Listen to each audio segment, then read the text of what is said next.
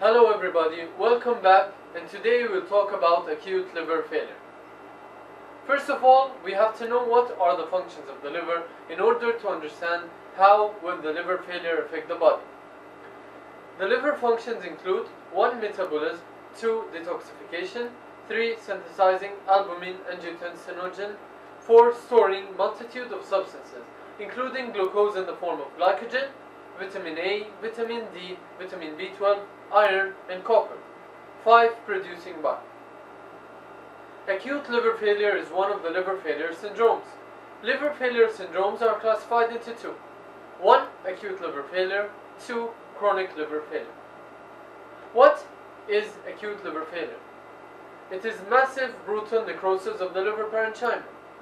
Severe acute hepatocyte dysfunction with no prior history of liver disease. Evolution of the acute liver failure is from days to weeks.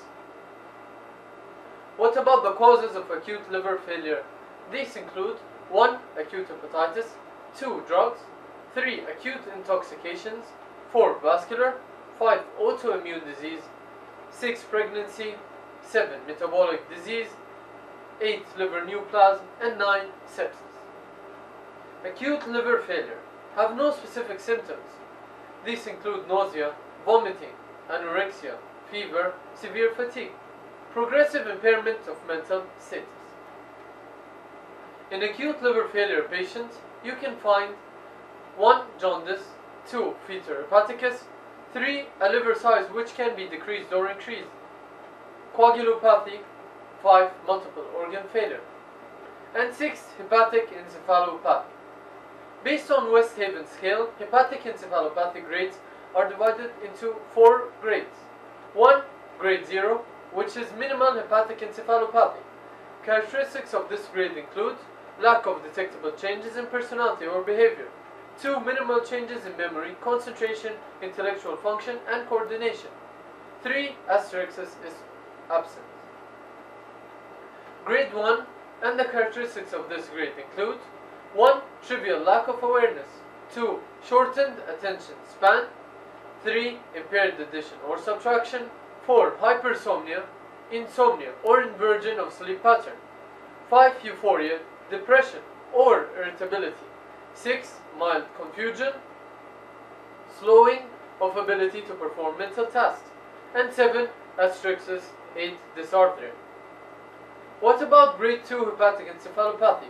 This grade include lethargy or apathy, disorientation, slurred speech, inappropriate behavior, obvious asterixis, drowsiness, lethargy, 7. Obvious personality changes, and 8. Inappropriate behavior, 9. Intermittent disorientation, usually regarding the time.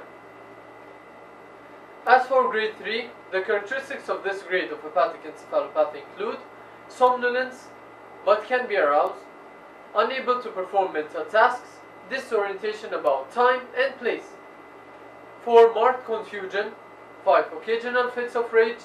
6. Speech which is present but incomprehensible. Finally, grade 4 of hepatic encephalopathy. The characteristics of this grade include a coma with or without a response to painful stimuli. Can be noticed in the lab results of a patient with acute liver failure? These include thrombocytopenia, hypoglycemia, increased creatinine, sodium, potassium, phosphate are decreased, increase in the AST, ALT, and alkaline phosphatases, increase in total bilirubin, 7. A serum total protein which can be normal or decreased, 8. Increase in serum ammonia, and 9. A prolonged prothrombin time. Thank you for watching and looking forward to see you in the next video.